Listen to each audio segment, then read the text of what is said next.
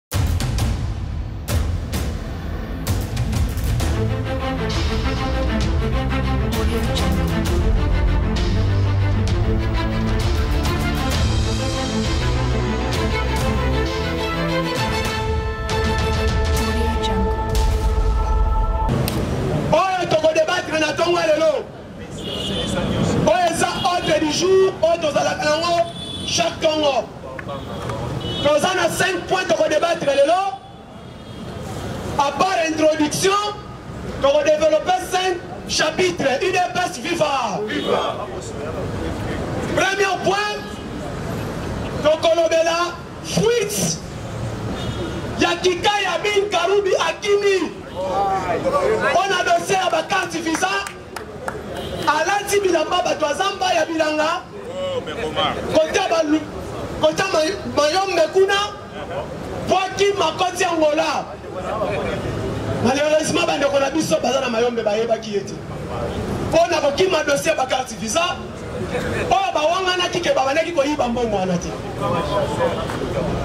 tokoya kolobela lisusu situation sécuritaire oyo eza na niveau est ya république démocratique du congo tokoya kolobela susu baisse de produits surgelés oyo oh, bazwi décision ya suka lobi bango nyonso tu bandimi mpe basigne yango idps viva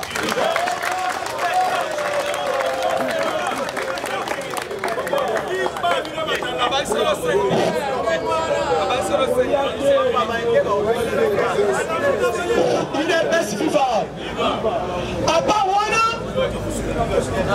tokoya kolobela lisusu lelo première première apparition ya patrice kikaya Hey, ya Patrice Kitebi na niveau ya justice congolaise na dossier ya parc agro industriel ya Bukangalo ya Bukangalonzo mpo na bazwa banquete pour mettre maintenant Matata Mponyo en prison parce que ye moto azalaki ministre délégué na ye au finance babengi ye lelo tokoya kolobela susu les 50 dossiers ya détournement eza na EPST mais jusqu'à pardon 90 mais jusqu'à présent ba traiter kaka deux dossiers mais na ordre du jour oyo tolobi 15 minutes bopesi nga ekokoka te donc tokokata ntango tokolobela lobi soki ordre du jour eza adopte tobeti maboko makasi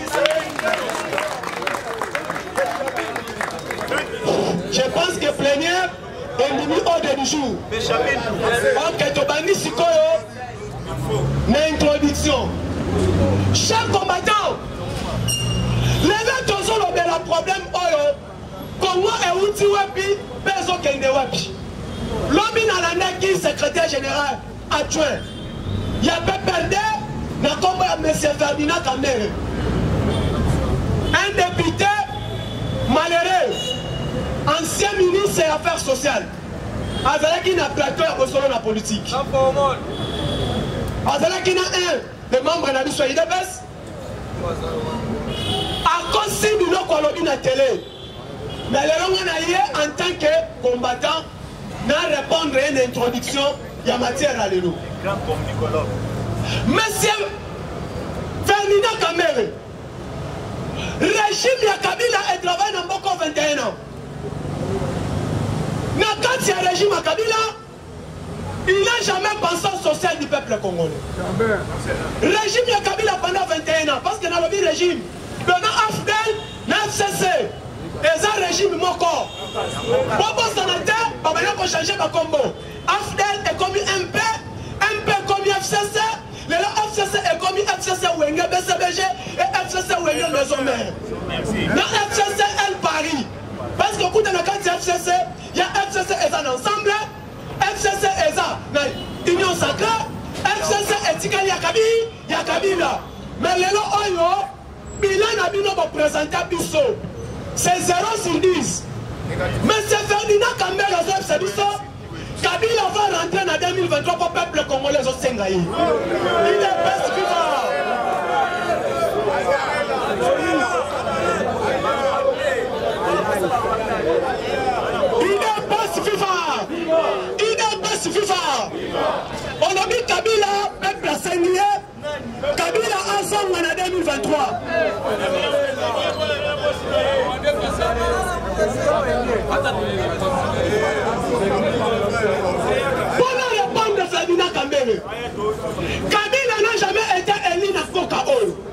Eza bongo.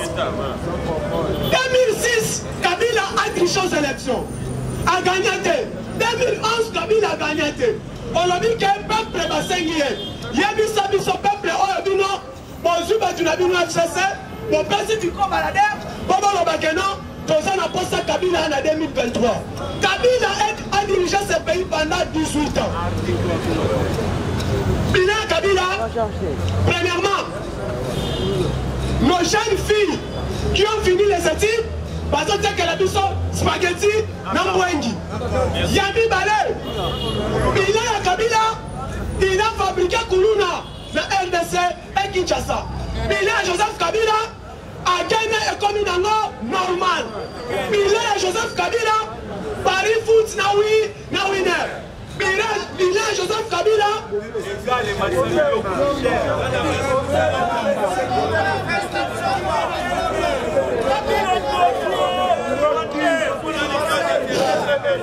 IDPS FIFA.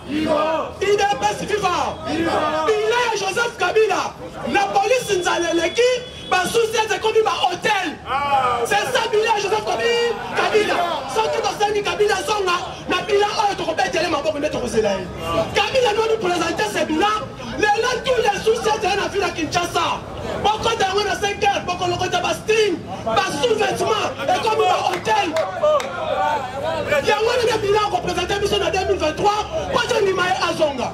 Bilan Joseph Kabila na police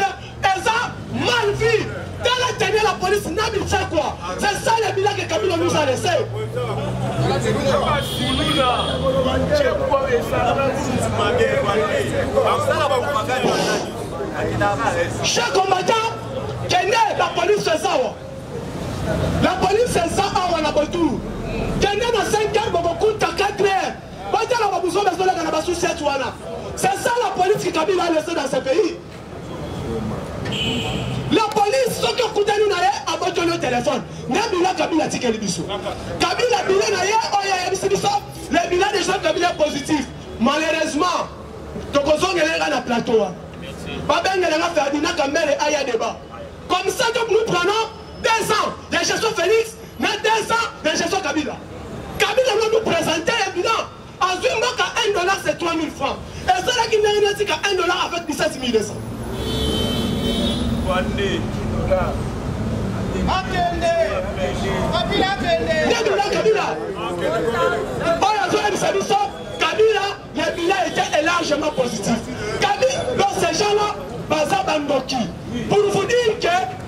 eza biso nde peuple totika bato ya fcc wana so des gens fo lapide bango na mabanga bazala su na mboka oyo te parce que baza bademo idps viva idps viva wana ezalaki nango préambile introduction tokoti na matière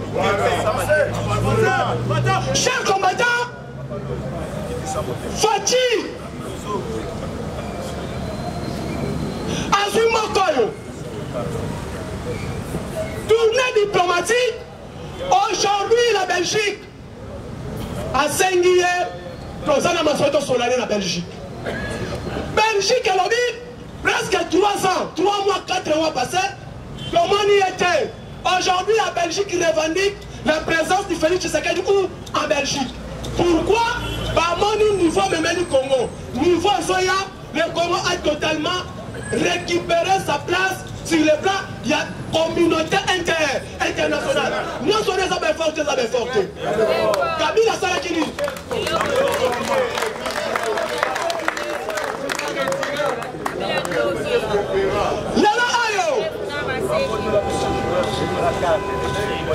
lelo oyo joseph kabila adirige mboka na biso Papa te, maman te. Un Rwandais de père et de mère 100%. Mais lelo oyo, tala sens ya bato wana irresponsable. Kikaya bin Karubi, conseil diplomatique à Joseph Kabila, Kikaya bin Karubi, conseiller diplomatique à Joseph Kabila,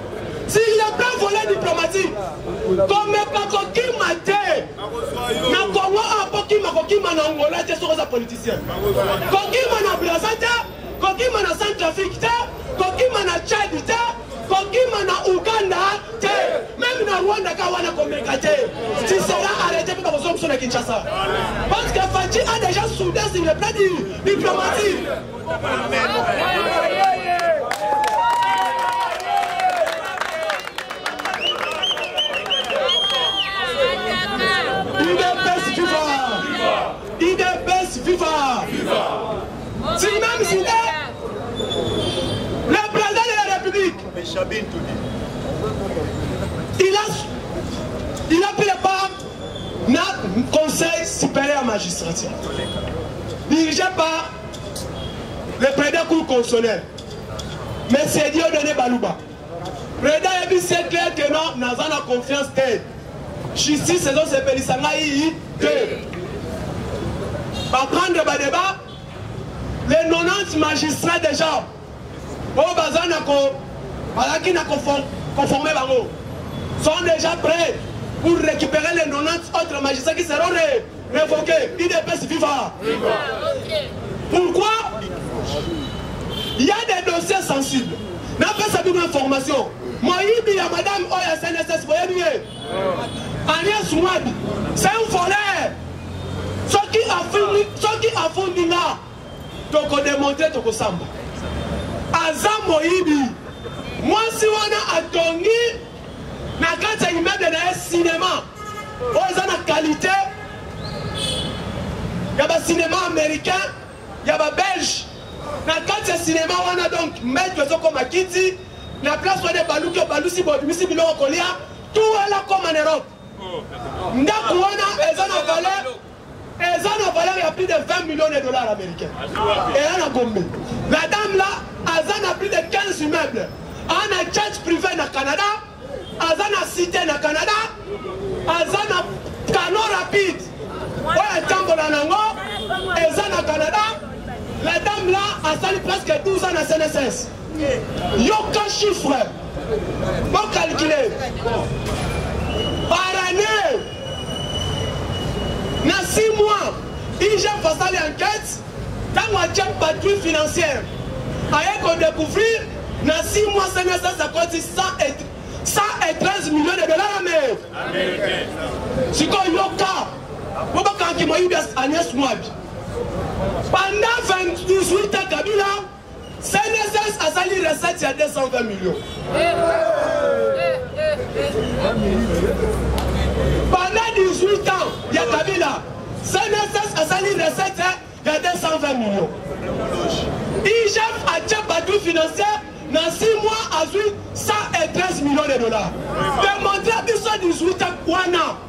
Par mois kende madame ya sanesas ayibi ko ne eloko nalobi ke il a volé tolongwa wana badonse tokobanda kodenonse chaque jour chaque jour tobanda kodenonse bado badosie toye madame karine oyebi karine oyo azalaki na sonance madame wana yesu na canada asomba jet privé carole okito asomba jet privé na mico aza na senat aza na site na canada aza na bakano rapide Tous sa famille vit où au Canada. Calculez niveau ya mbongo mwasi wana aza nango. C'est l'un des femmes milliardaires ya Congo. Mwasi oyo awuti na CNSS na la dame la Carole. Mbongo tu wana eza mbongo bayibi na Kabila pendant 18 ans. Tozosenga yango ngai naloba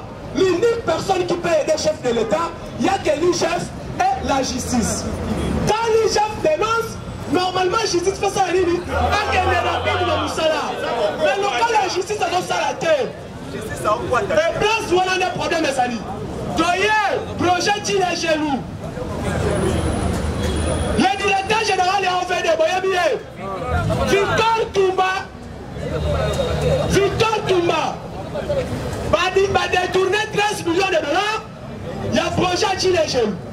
Victor Tumba qu'il soit de l'UDPS ou pas ntango adenonse foto ntango ayibi foto ntango akombo parce que idps baformaki biso te mpo na kimoyibi idps on nous a formé pour état de droit et la bonne gouvernance idps eza centre ya kimoyibi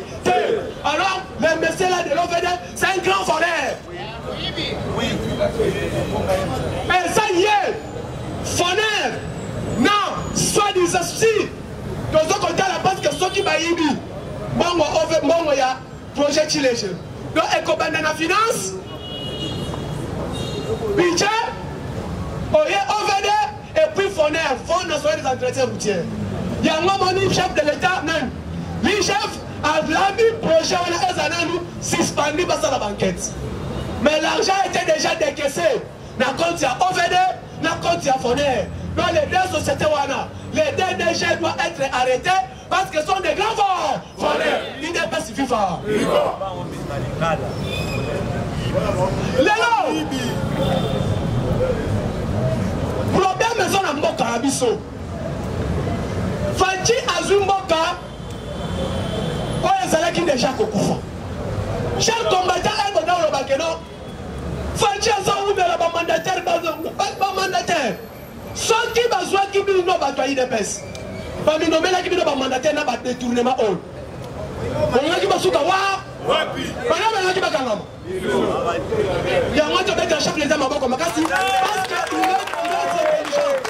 aboyaki bato na ye bakende kokota na kati ya baentreprise oyo deja kimoyibi ezali josé makila makila ya bajosé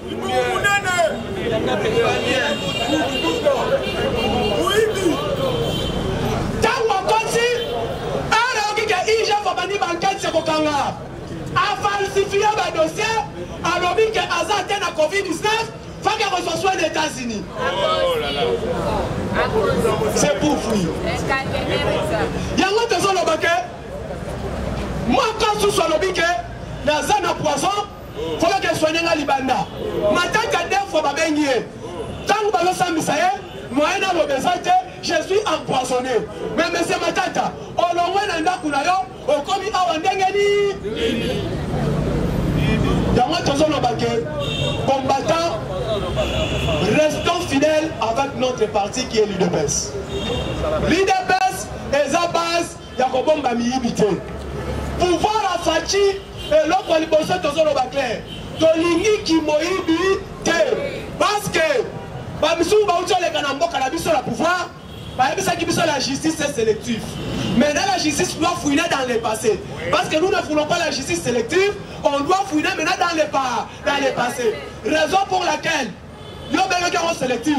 Quand on va appeler ton mari, une tu de partir à la justice. Deux, prenez courage aussi de parler que moi aussi Olive j'ai volé, j'ai construit où En Afrique du Sud, une espèce vivante.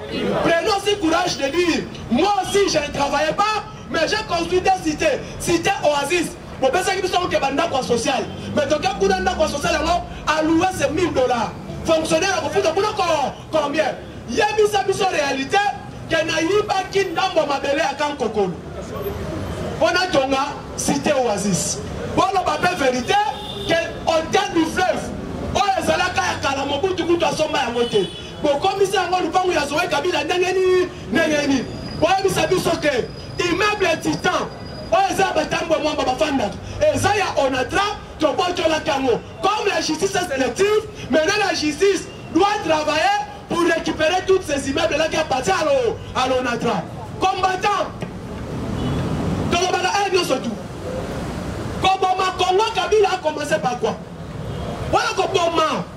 Ekonomi ya mboka Kabila commence d'abord pour koboma nde Onatra. Parce que l'Onatra c'est le poumon de la République. Kabila bomi Miba parce que Miba c'est le cœur du Congo. Kabila bomi chez Camille parce qu'il a dit que chez Camille centre oyo oh, esimbi minere Kabila bomi Kabila ajali susu. On a rendre Mboko vraiment par terre. Peuple oyo balimwa mpo na boma sur le plan bagage intellectuel aye abomi éducation mpo na boma su mboko yo rwanda to renie bien mpo tosala nini toboma armée abomi armée lelo nakokamwa nakokamwa kikaya kikaya bin karudu kiza dire le président anomi tomi tambwe na tete ya désarmement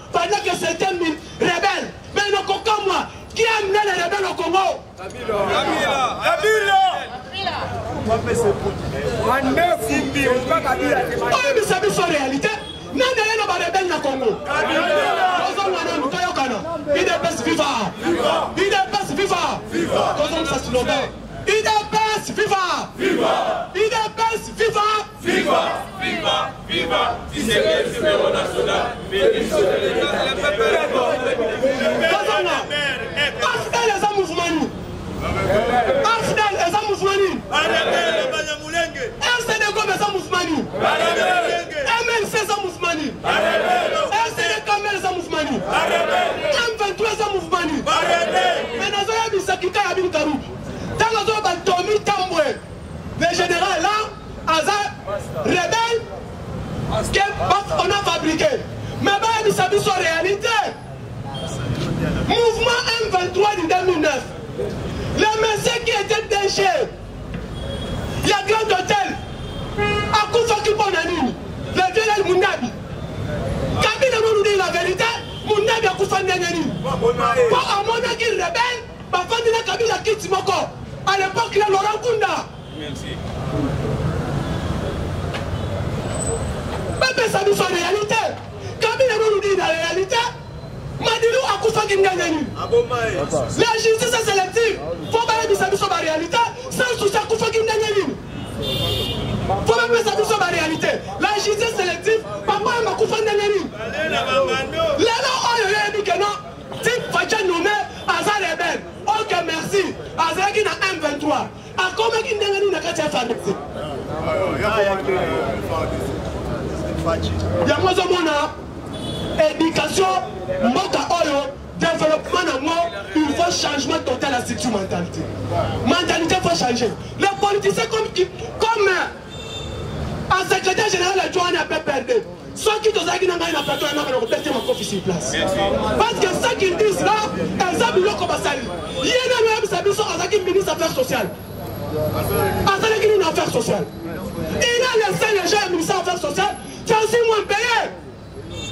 Kabila atiki nyongo na kati onatra 26 mois.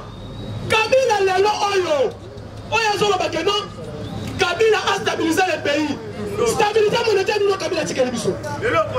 Kabila mpo na ye ezaki eloko moko voler ce que vous voulez voler, mais ne touchez pas son pouvoir. Mais chez Fatih, tu peux toucher son pouvoir, mais ne voler, hein,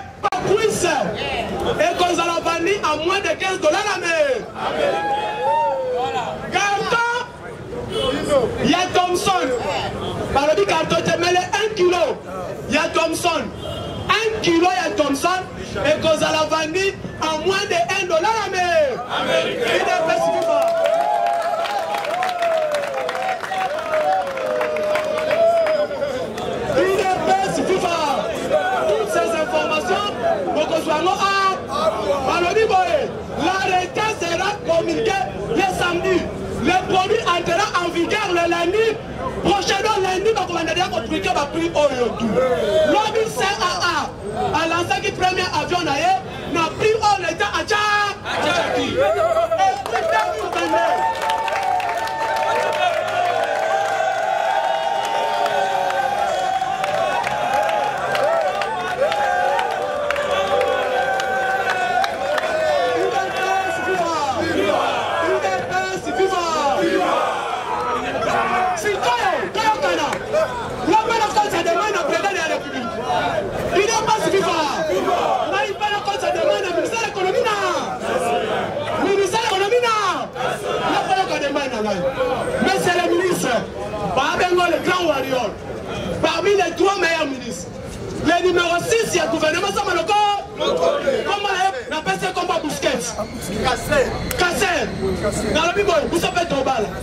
kitisela biso prix ya masanga otali biso mwasi 500 dollar masanga pesa nini ene asombi cuise kwange fufu akiti mwasi mpe afe